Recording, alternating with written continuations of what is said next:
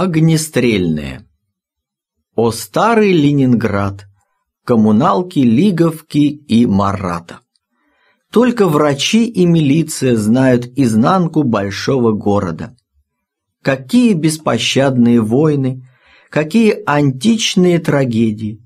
Не было на них бытописателя, запрещена была статистика, и тонут в паутине отошедших времен потрясающие душу и разум сюжеты, простые житейские истории. Не любил старичок шума, тихонький и ветхий.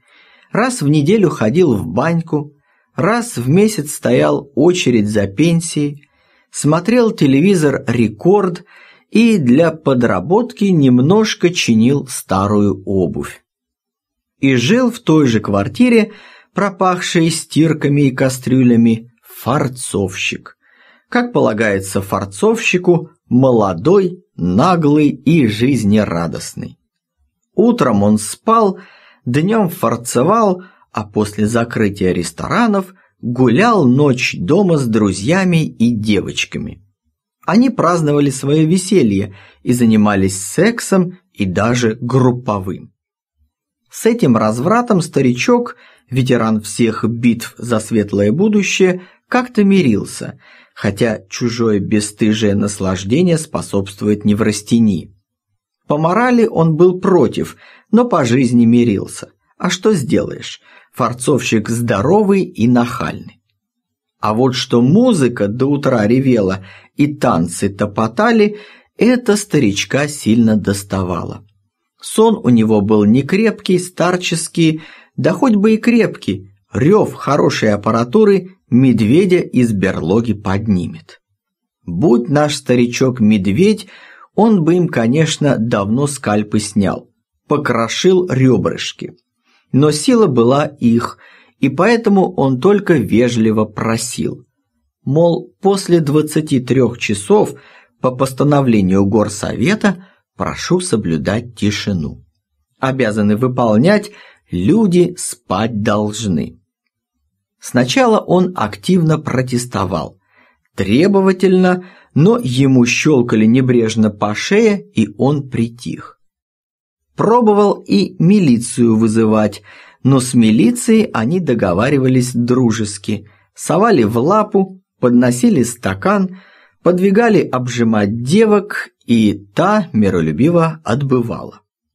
По отбытии старичка слегка били. Не били, конечно, а так, трепали, для назидательности, что больше не выступал. Прочие соседи вмешиваться боялись. Порежут еще эти бандюги. А так выпить угостят. Старичок же не пил, он был старого закала, очень порядочный и несгибаемый. Жил, главное, через стенку, весь звуковой удар на себя принимал. Каблуки гремят, бляди визжат, диваны трещат, и музыка орет. Спокойной ночи. Постучать в стенку тоже нельзя, в лоб получишь. Так он избрал такой способ сопротивления. Он садился в коридоре на табуретку под лампочку между кухней и туалетом, и когда кто-нибудь туда шел, старичок делал замечание. «Прошу вас перестать шуметь, пожалуйста, иначе я буду вынужден принять меры, я вас предупреждаю». Он с изумительной настойчивостью это повторял, и к нему постепенно привыкли, как к говорящему попугаю. Пьяные не обращали внимания, а потрезвее иногда откликались.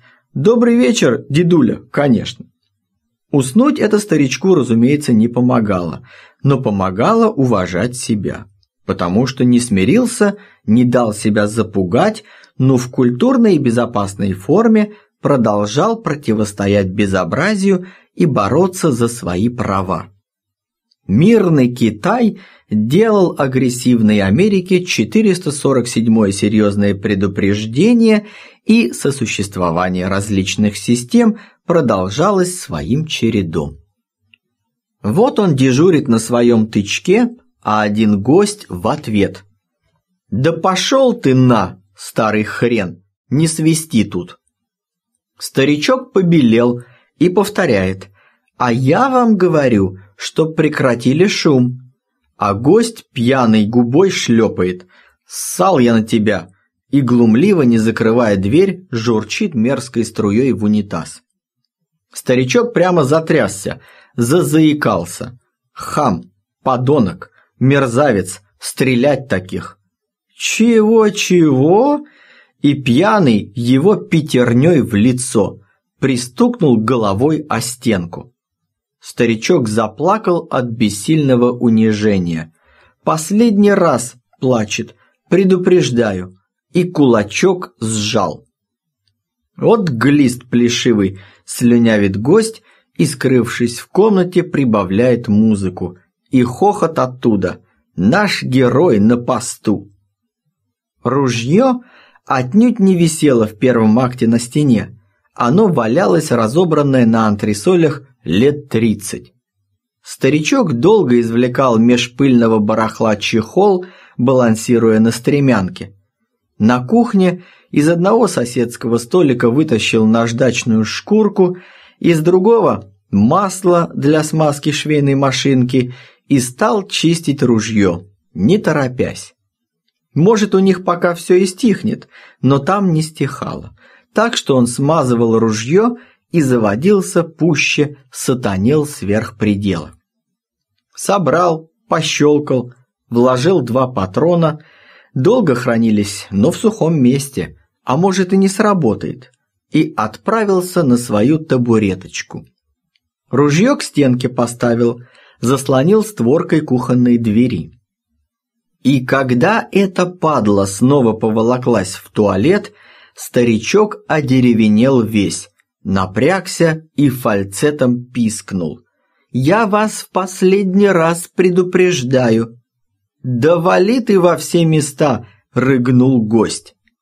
Старичок драматически наставляет свою двустволку.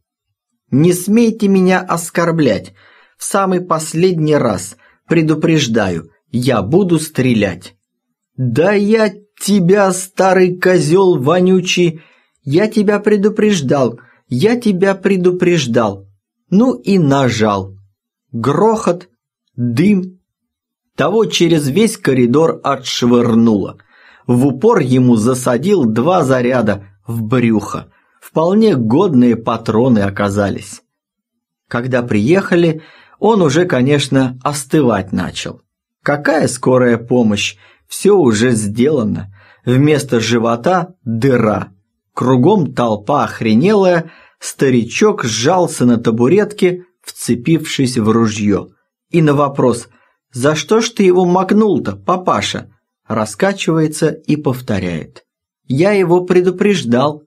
Я его предупреждал. Я его предупреждал».